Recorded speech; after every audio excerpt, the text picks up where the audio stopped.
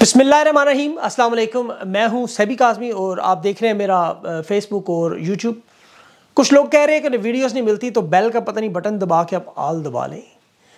General Bajwa, Kashmir, Hindustan को देना चाहते हैं। कश्मीर के मामले पर ये लोग क्यों पीछे पड़े ये मामला सारे खुलकर सामने आ गए। कश्मीर की अहमियत क्या है? इससे पहले जो आपने देखी नहीं होगी, ये मैं आपके सामने तफसीलात रखता हूँ। अरब अमारात के सदर मोहम्मद बिन जायद पाकिस्तान इनकार करके गए। हाफिज़ साहब इंग्लैंड से अरब अमारात पहुँचे और अरब अमारात इन्हें अब कैसे इस्तेमाल कर रहे हैं? लंदन के दौरे से फ़ौर वापसी पर क्यों अरब अमारात गए? आई एम एफ़ के साथ का माहा ख़त्म हुआ। गुस्सा शौकत तरीन पर निकालने जा रहे हैं। शौकत तरीन पर केस भी डालेंगे। लेकिन असल जो मामला अरब अमारात के साथ इस वक्त चल रहा है, वो मैं आपके सामने रखता हूँ, वो होश उड़ा देने वाली बातें हैं। बाजवा मजालिम दास्तानें भी सामने आ रही हैं। अब सार आलम के बेटे के साथ जो उन्होंने किया और जो जनरल बाजवा रिटायर होने के बाद कैसे अभी भी दुबई से गेम कर रहा है? इसकी गेम है क्या? सारी तफसील आपके सामने रखता हूँ। सबसे पहले देखें, कश्मीर की एक अहमियत इलाकाई जोग्राफियाई एतबार से जम्मू, लद्दाख, गिलगित, बहुत से सालों से आपको पता है पता है। मुसलमान वहाँ रहे, अफ़गान रहे बहुत सारे डिफरेंट तरह के रूलिंग वहाँ पे चलती रही। मुग़ल कमज़ोर निकले, फिर सिख आए, अफ़गान आए, उसके बाद उन्नीस सौ महाराजा, जब हिंदुस्तान, पाकिस्तान के साथ कश्मीर के लोग नहीं रहना चाहते थे तो फिर इसकी तकसीम हुई, एक तिहाई पाकिस्तान के पास आया और दो तिहाई हिंदुस्तान के पास। चीन भी इसमें शामिल है। लद्दाख पर आपको पता है, वो मामला भी आपको पता है। हिंदुस्तान ने फिर आर्टिकल 370 लगाकर इसे हिंदुस्तान में शामिल किया। अब यूएई की बहुत सी पार्टियाँ, यूरोपी जी सेवन, जी ट्वेंटी, इतनी दिलचस्पी, क्या इसकी मादनियात और मामला वो, देखिए मामला बड़ा सादा, जहाँ जहाँ मादनियात के ज़खायर हैं, वहाँ पर तबाही और बर्बादी का खेल खेला जाए, चाहे वो अफ्रीका के गुलाबी हीरे हों वनजुएला का तेल हो, ईरान की गैस हो, अफ़गानिस्तान के पत्थर हों, बलूचिस्तान की मादनियात हों, या अब कश्मीर का सफ़ेद सोना लिथियम। भारतीय फ़ौज को भी जम्मू कश्मीर में जो लिथियम वाइट गोल्ड एक ज़ख़ीरा मिला है पाँच शरीय नौ मिलियन टन के करीब लिथियम। आलमी मार्केट में इसकी बड़ी हाई डिमांड है और इसकी कीमत डबल भी होती है। इसका बड़ा, आपको पता जो 5.9 टन, अब पहले हिंदुस्तान, ऑस्ट्रेलिया और अर्जेंटीना से मंगवाता था। अब ये लिथियम इन्हें नहीं मंगवाना पड़ेगा। रिचार्ज बैटरीज के अंदर इस्तेमाल होता है मोबाइल फ़ोन लैपटॉप्स और सबसे बढ़कर इलेक्ट्रिक गाड़ियाँ। तीस फ़ीसद इलेक्ट्रिक गाड़ियाँ अब हिंदुस्तान में दुनिया भर में जाएँगी। और ये माहे भी यू ए के चाइना एक अरब की बोलीविया के साथ डील कर रहा था जो इक्कीस मिलियन टन की थी। अब अब मैं आपको बताने का तफसील, बड़ा अहम मकसद है। अरब अमारात पूरी कोशिश कर रहे हैं किसी तरह हिंदुस्तान के साथ ये डील हो जाए। और सऊदी अरब और हांगकॉन्ग भी शायद इनके साथ शामिल हो जाए। यहाँ पर गंबर्ग, सोना, मर्ग और पहलगाम, इन पर होटलों की सरमाकारी भी करने जा रहे हैं अरब अमारात। और सरकारी ज़मीन इन्हें मिल चुकी है और तकरीबन तीस से ज़्यादा इनकी बड़ी कंपनियाँ वहाँ पर जा चुकी हैं। सत्तर हज़ार करोड़ की बैन अवी सरमाकारी इनकी जो पहले वाली कंपनियाँ हैं, वो तीन हज़ार करोड़ सरमाकारी अब तक कर चुकी हैं। इनमें आर है लूलू है मॉथो इन्वेस्टमेंट्स हैं जी ग्रुप्स हैं जी एल एम्प्लॉयमेंट है ब्रोकरेज है सेंचुरी फाइनेंशियल है इंफॉर्मेशन टेक्नोलॉजी है, बड़ी बड़ी कंपनियाँ जो है ई कॉमर्स की और सारी। अब ये इनको छः हज़ार रकबा जो है, एकड़ रकबा, वो भी दिया जा रहा है। श्रीनगर और दुबई के दरमियान फ़जाई रबता भी बहाल किया जा रहा है। बड़े पैमाने पर सनती तरक्की ज़रात है उसमें। दस्तकारी, सियाहत, processing information, technology, medical college तक बना रहे हैं वहाँ पर। एक बहुत बड़ा, लंबा, चौड़ा काम। मैं एक तस्वीर आपके सामने रखता हूँ, यूएई के अरब अमारात के सदर और हमारे हाफिज साहब जैसे हाथ बांधे उनके सामने बैठे हुए हैं। अब देखें, अरब अमारात की मैंने आपको तफसील बताई। शहबाज शरीफ को बाकायदा इनकार करके गए, हम आपको पैसे नहीं दे सकते। तलोर का शिकार करवाया, दलाली भी की इन्होंने। बड़ा कुछ किया, लेकिन नहीं माने वो। वो वहाँ से घटिया करतूत इनके नहीं चले। अगले दिन पेशावर में आपको पता है, इन्होंने सौ बंदे शहीद करवा दिए। अरब अमारात के सदर वहाँ से निकल के भाग। गए अब हाफिज साहब लंदन से हिंदुस्तान के अखबार ये बार बार कह रहे हैं कि बरतानिया थर्ड एम्पायर का किरदार अदा कर रहे हैं। और हाफिज साहब हिंदुस्तान के सलामती के मुशीर अजीत दवाल और दूसरे इनके जो बाकी कश्मीर के सौदे के लिए मुलाकात रशी सोने के साथ। बाकायदा छप रहा है उनका। इस दौरे की फ़ौरन आपको बात देखें इंग्लैंड से वो चले गए दुबई। हिंदुस्तान और पाकिस्तान के फौजी अफसरान की सब मुलाकात पहले भी अरब अमारात करा चुके हैं, बल्कि अमरीकी जनरल तो उसे मज़ाक में लिटिल स्पाटा कहा करते थे। जनवरी 2020 में इनके ताल्लुक की शुरू हो चुके थे मामला। अभी रिसेंटली सॉरी जनवरी 2023 में। अभी शहबाज शरीफ ने जो अरेबिया को इंटरव्यू दिया था, बड़ी अहम कड़ी थी। शेख मोहम्मद जायद ने बाकायदा तौर पर हिंदुस्तान पाकिस्तान के जो ताल्लुक हैं, उन्हें आगे बढ़ाना है। और मोदी के साथ ताल्लुक देखें, अरब अमारात में तिरानवे लाख की आबादी में पैंतीस लाख इंडियंस और तेरह लाख पाकिस्तानी। अब आप अंदाज़ा कर लें, इतनी बड़ी आबादी, तजारत और नरेंद्र मोदी के सन के ताल्लुक ऐसे हैं कि अरब अमारात का सदन खुद एयरपोर्ट पर लेने जाता है और जनरल बाजवा दुबई में बैठ के इंडिया और पाकिस्तान की ये खुफिया मीटिंग्स के लिए भरपूर काम कर सारी वारदात इसकी है। अरब अमारात की जो सालसी है, कश्मीर का मसला हल कराना पाकिस्तान को अब ज़ाहिर इस लेवल पर ले आए हैं कि आपके पास दो अरब डॉलर रह गए मजबूर होकर कश्मीर के मामले को आपको भूलना पड़ेगा। टेबल पर भी बैठेंगे, हिंदुस्तान की तमाम शराइ को तस्लीम करेंगे। आई एम एफ़, अरब अमारात के करने की मदद जो है, वो तभी करेंगे जब तक आप, जिस तरह आप चीन के कैंप से निकले, वरना चीन ने पैसे दे देने सारे। लेकिन जनरल बाजवा ने इस घनौने खेल में पाकिस्तान को बलदूत से मक्की की तरह वहाँ निकलवा दिया।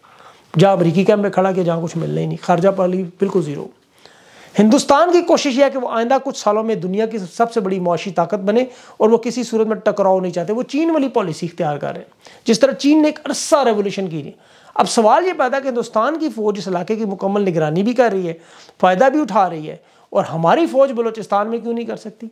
वहाँ भी तो मादनियात का ढेर है। वहाँ चंद चंद गद पर चौकी बनी हुई है। लेकिन हर दूसरे तीसरे दिन शहादतें हो रही वहाँ मकामी लोग क्यों मुखालफत हैं? वहाँ के हालात क्यों नहीं ठीक हो रहे? हिंदुस्तान ने किस तरह कश्मीर के हालात ठीक कर लिए? उसकी वजह ये, वहाँ हिंदुस्तानी फौजी लिथियम पता नहीं ढूंढते रहे। हमारी नंबर वन और अफवाज वहाँ पर वाफर मकदार में गंदी वीडियोज़ ढूंढती रही। ये इमरान खान के पीछे लगे रहे। तो हालत यही है, इमरान खान से देखें कि नफरत का आलम देखें कि फ़ौज में जो क्रिकेट चैंपियनशिप होती थी, वो उन्होंने बंद करवा दी। एक तरफ़ तस्वीर देखें। अब मैं अब आगे चलता हूँ जनरल बाजवा के मुजालिम की तरफ़। एक नामर्द बेटे के साथ खड़ा है और एक तरफ़ उमर बाज, उमर अबसार आलम सलाखों के पीछे साफ़ी का बेटा। मैं तफसीलात आपता तो मैं अबसार आलम साहब से शर्मिंदा भी हूँ बड़ा। मैंने उनका कालम पढ़ा कर रोंगटे खड़े हो गए कि किस तरह ये फ़िरौन गुजरा जनरल बाजवा। और जहन में आता है किस तरह ये अवाम का जुल्म, आपको पता है, गज़ब ढाता रहा। ये बच्चा Umar Absar Alam commentary sorry, cricket match देखने के लिए गया था पिंडी स्टेडियम में 2020 में। वहाँ मैच देखते अपने कज़न को फ़ोन किया को लोकेशन शेयर की, मैं यहाँ खड़ा हूँ, वहाँ खड़ा हूँ। फ़िरौन आज़म जनरल कमर बाजवा। वहाँ आ रहा था, क्योंकि सारा इलाका आपको पता नहीं कि वालद साहब की, वाल के वालदा के जहेज़ में आई हुई जागीर है ना। आम पाकिस्तानी तो जा नहीं सकता, ख़तरा है इन्हें, बड़ा प्रोटोकॉल चाहिए सिक्योरिटी चाहिए। जो गुजर गए वहाँ पे, वो सादा कपड़ों में घूम रहे थे एन के पहने हुए, अपनी तरफ़ से जेम्स बॉन्ड बने हुए। कि इतना कीमती है साथ इतने बड़े मुँह वाला हमारा फिर की ज़ाया ना हो जाए, जो बारह अरब का चूना लगा के मरी रोड भागे अपने ग़ुलामों की पलटन में। तो वो काले चश्मे बुलेट प्रूफ भागते इस तरह से बुलेट प्रूफ गाड़ियों पे सर कि पता नहीं पाकिस्तान जो हिंदुस्तान ने फेंका हुआ एटमी मिज़ाइल है, वो पकड़ने जा रहे या ढाका में रखी हुई अपनी पतलूने वापस लेने जा रहे इतनी जल्दी है नहीं बीस साल का बच्चा वो फ़ोन पे। इन्हें वफादारी याद आ गई। उस गरीब को वहाँ से उठाया। पंद्रह सोलह लोगों ने एक बिल्डिंग में जाकर उसे मार मार के उसे कहते हैं, तुम्हें पता नहीं शहशाह मौज़म फ़िरौन आज़म, नमरूद जूनियर, कानून का दामाद, जनरल बाजवा तशरीफ़ ला रहा तुम यहाँ खड़े होकर ब्रीच कर रहे हो सिक्योरिटी की। तुम्हें पता नहीं कि गजवा हिंद का टीपू सुल्तान है। बाजवा डॉक्टराइन शाही हुक्मनामा तुमने नहीं पढ़ा, जिस पर दिल्ली पर झंडा लहराने वाला ये गाजी भी है। ये और बात है कि इसकी टांगें भी कांपती थी और माथे पर पसीना भी आता था, जब हिंदुस्तान का कोई जहाज़ फ़जा में गुजरा होता। ये तो इमरान खान का अल्लाह भला करे जो गिरा देता था। बहरहाल इस बच्चे के साथ उन्होंने वही जुल्म किया, जो ये बलूचिस्तान में करते रहे। वहाँ मासूम लोगों के साथ, डालरों की खातर पख्तून के साथ करते रहे, सिंधियों के साथ करते रहे, महाजरों के साथ, कश्मीरियों के साथ गायब करते रहे, मारते रहे उन्हें। खुद रिटायरमेंट के बाद अरबों डॉलर बनाकर दुबई में याशी कर है, वहाँ पाकिस्तान हिंदुस्तान जोड़ है, ताकि बैठ के वहाँ स्कॉच पिए उनके साथ। सिग्नल पर खड़ा होकर कानून का एहतराम करता है। लेकिन जब जिसम से जो इसका गोश्त लटकना शुरू होगा मुशरफ की तरह वहाँ डब्बे में बंद करके झंडा लपेट के से भेज देंगे। जी, बड़ा इसने महाज फतह किया है। यूरोप के हर मुल्क में इस शख्स की पता नहीं इन्वेस्टमेंट होगी, इसके उसके बच्चों की। वो अबसार आलम का बेटा उमर अबसार जहनी तोज़न खो बैठा है अपना बेचारा। तालीम उसकी चलेगी। और इस दर्दनाक हादसे से वो निकल नहीं पा रहा। उसके, देखें उसके वालदेन पे क्या गुजरी होगी। ज़रा सोचे नौजवान बच्चा, इस बदबख्त के प्रोटोकॉल की वजह से कि जब वो गले ला के अपने माँ बाप से रोया उस तशद के बाद। दिल तो करते हैं कि और शत्रुर करें, लेकिन अदब और तमीज़ बीच में आ जाता है। आठ सौ, देखें जनरल बाजवा के अहकाम को तस्लीम, अभी वो जनरल आदिल भी कह रहा था कि आठ सौ लोगों ने नहीं किया उन्होंने भी बड़ा तशद किया। ये अपने लोगों को नहीं छोड़ रहे डॉलरों की लालच में। तो ब्लडी सिविलियन क्या चीज़ है? खैर, मेरे पास उसकी खबर की ख़ास तफसील नहीं है, इसलिए मैं उस पर ज़्यादा बात नहीं करता कि क्या हुआ। अलबत् अफसार आलम से माजरत के साथ। शौकत तरीन पर अब ये केस डालने लगे आई एम एफ़ का। आपको पता है, आई एम एफ़ पैसे नहीं दे रहा। तो कि जी शौकत तरीन ने खैबर पख्तूनख्वा पंजाब के वजी ख़जाना को उस वक्त फ़ोन करके मना किया था इनकी शराइ मानने से। तो अब एफ़ आई ए के पास उसके ज़रिए उसे उठाएँगे। मामला वही जनरल बाजवा का शौकत तरीन से ज़िद है, क्योंकि शौकत तरीन तरीके इंसाफ और इमरान खान को छोड़ कर इनके साथ नहीं आ रहा था। अब ये उससे बदला लेना चाह रहा है। इसमें भी इनकी जलालत होगी। और उसके साथ अच्छा मज़े की न्यूयॉर्क का कार्टून देखे, अखबार में न्यूयॉर्क में छपा है। इनकी हिम्मत है न्यूयॉर्क के कार्टून उसको ज़रा उठा के लाओ ना। भेजो अपने डाले। भेजो अपनी गाड़ियाँ वहाँ उनको उठाने। लेकिन वो अंदर ना डाल दें इनके तो मेरा नाम बदल दे। कार्टून देखें अच्छा सियासतदान जो करप्ट, वो लगता भी नवाज़ शरीफ की तरह है। और जो फौजी जर्नल पीछे पाकिस्तान को पका रहे हैं, आग पे, वो भी जनरल बाजवा।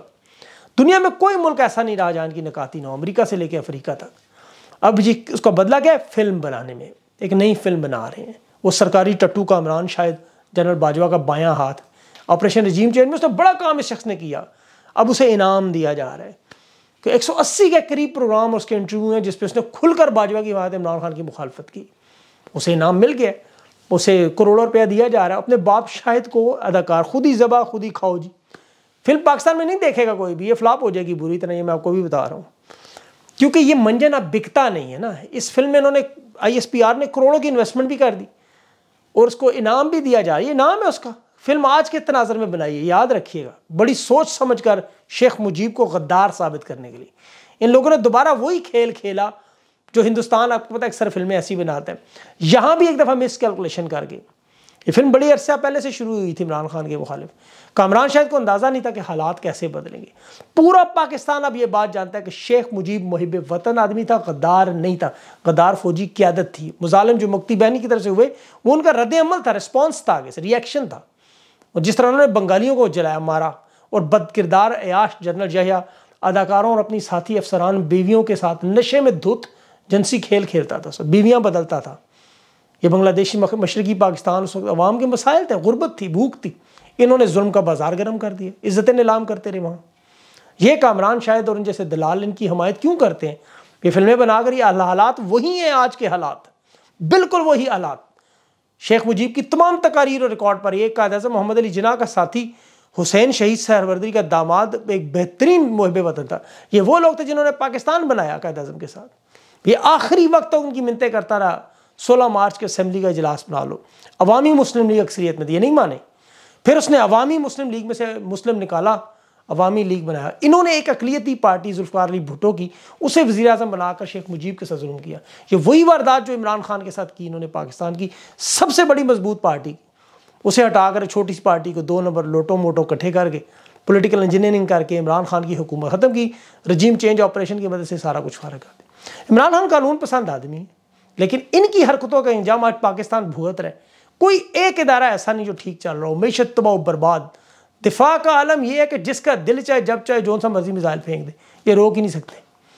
सरहदों में घुस जाए जहाँ मर्ज़ी। खारजा पॉलिसी का ये आलम है कि सबसे बेहतरीन दोस्त चीन, इन्हें अपनी कॉन्फ्रेंस में नहीं बुलाता पैसे नहीं देने को तैयार इनको बिल्कुल। बात नहीं करते।